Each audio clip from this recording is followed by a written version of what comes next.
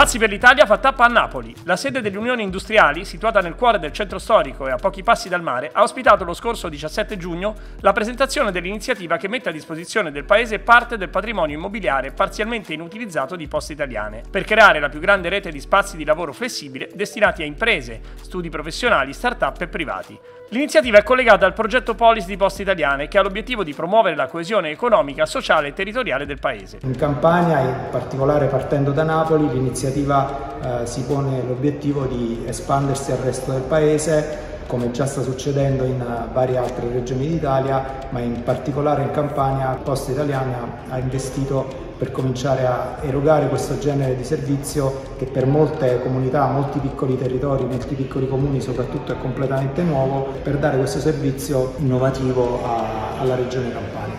L'iniziativa immobiliare di Poste Italiane è stata presentata da Pierpaolo Cito, responsabile rapporti con le associazioni di categoria dei consumatori del gruppo Poste Italiane, e Davide Ambrogi, responsabile spazi per l'Italia del gruppo Poste Italiane. A fare gli onori di casa è il presidente Unione Industriali di Napoli, Costanzo Iannotti Pecci. È un progetto interessante perché i luoghi nei quali sarà realizzato sono luoghi normalmente eh,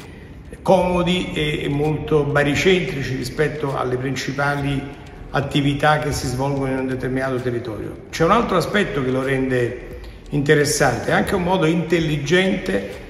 per recuperare eh, tutti quei, quegli spazi, quelle strutture bellissime che peraltro caratterizzano il patrimonio di poste italiane e da ultimo risponde ad un'esigenza sempre più avvertita da parte delle nostre aziende, aziende che fanno riferimento a noi, ma delle aziende in generale, che è quello di poter disporre di spazi di lavoro in maniera flessibile, poter disporre di spazi attrezzati, comodi, funzionali, eh, tecnologicamente avanzati diventa un must del quale eh, occorre eh, tenere presente e soprattutto che può tornare particolarmente utile per le strategie di, delle aziende anche sul versante dei rapporti territoriali. 5 gli spazi già pronti realizzati da Poste Italiane in Campania, Marcianise, Santa Maria Capoavetere, Telese Terme, Bellizzi e Caivano, dove l'iniziativa assume un particolare valore sociale. A Caivano c'è grande attenzione sociale e poste punto di riferimento per tutta la comunità, eh, sia in termini di servizi e di prodotti che regolarmente vengono erogati nei nostri uffici postali